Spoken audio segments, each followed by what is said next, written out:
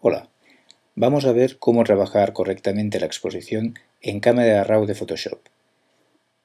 Partiremos de una imagen disparada en formato RAW y vamos a ver las diferentes opciones. También podría ser una imagen en JPG, pero en una imagen en cámara RAW, si tenemos imágenes en RAW, podremos sacarle más provecho y más calidad a la imagen final aunque no es imprescindible, también lo podríamos hacer en un JPG o en un TIFF. Para empezar, antes de empezar a atacar los controles, os aconsejo activar estas dos casillas que son el aviso de recorte en sombras, en bajas luces y en altas luces. En este caso, si tenemos un problema de exposición, que tenemos una sobreexposición acusada, todos los valores que estén en un blanco absoluto, en un quemado, los veremos en color rojo, al tener esta función activada. Y en los negros haremos lo contrario. Veremos unas zonas azules en las zonas que, que tengamos el negro completamente empastado. Eso no significa que la exposición sin llegar a esos extremos esté bien, pero es un indicativo que nos puede ayudar. Para empezar, os aconsejo echarle un vistazo al histograma. El histograma debe tener información, si la imagen la tiene, en el extremo derecho, que es donde está el blanco, y en el extremo izquierdo, que sería donde está el negro puro, el negro absoluto. Con lo cual, no todas las imágenes, si no tienen un blanco absoluto o un negro absoluto, no tiene por qué llegar la información de punta a punta en el histograma.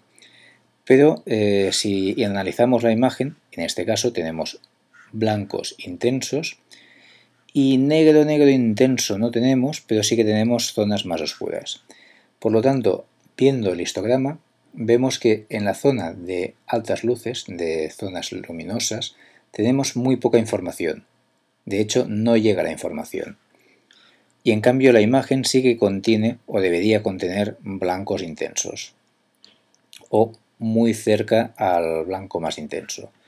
Por lo tanto, lo primero que tenemos que hacer es centrar o desplazar la exposición para tener unos valores más o menos centrados. Después acabaremos de estirar si hace falta o comprimir ciertas zonas. Vamos a coger el valor exposición y empezamos a darle más exposición. Fijémonos cómo el histograma se ha ido desplazando, se ha ido centrando, y a partir de aquí después acabaremos de estirar los blancos y los negros para conseguir una iluminación más correcta.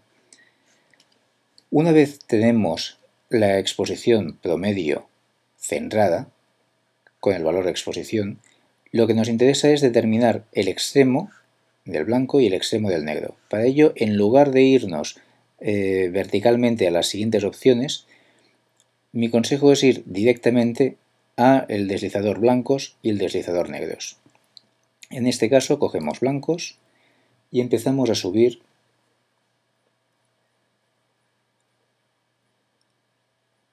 hasta tener una información más o menos por aquí, que llegue o casi llegue al extremo para que el blanco, sin perder información, pero sea un blanco intenso. Y ahora haremos lo mismo con el negro.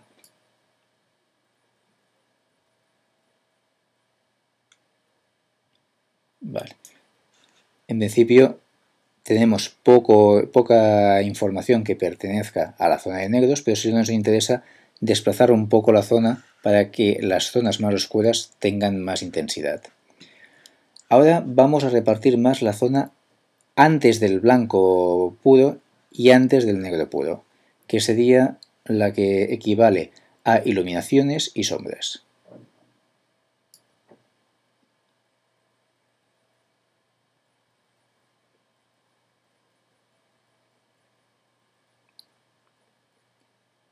Vale, más o menos por aquí, podría estar bien. Y sombras, lo que haremos es bajarlo un poco para ganar un poco más de profundidad e intensidad en, en los tonos más oscuros. Con esto la imagen ya podríamos darla por concluida a nivel de exposición. Vamos a ver el antes y el después. Vamos a quedarnos una instantánea expo correcta, aceptamos.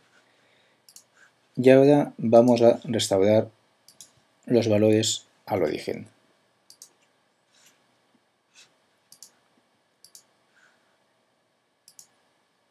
Y fijémonos en la diferencia.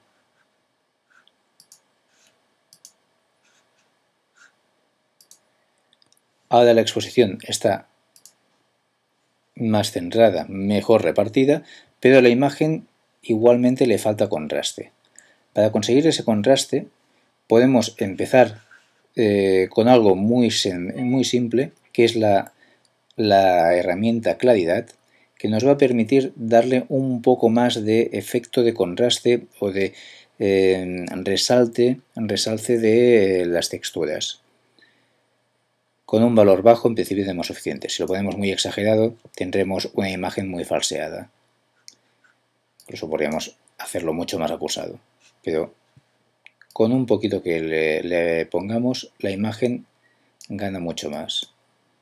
Algo así, por ejemplo, puede ser más que suficiente, un 10, un 20.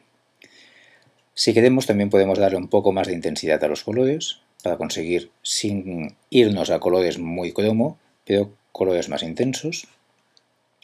Y el contraste que nos interesa aún aplicarle a la imagen, en lugar de hacerlo por la herramienta contraste, os aconsejo usar la curva de tonos.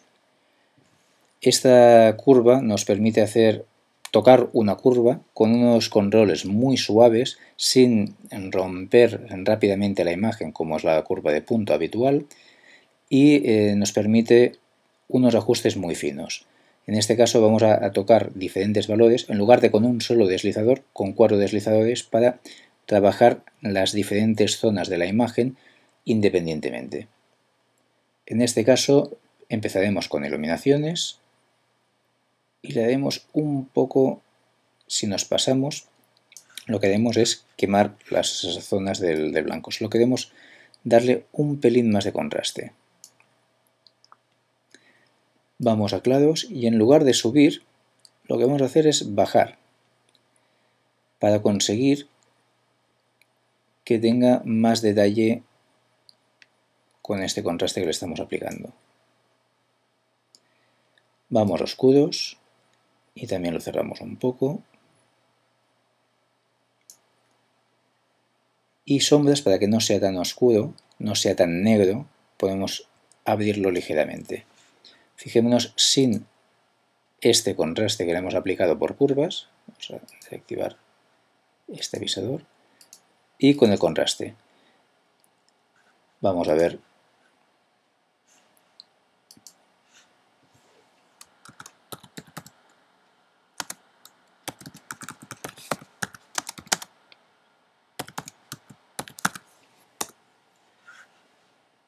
y vamos a ver la imagen desde el principio.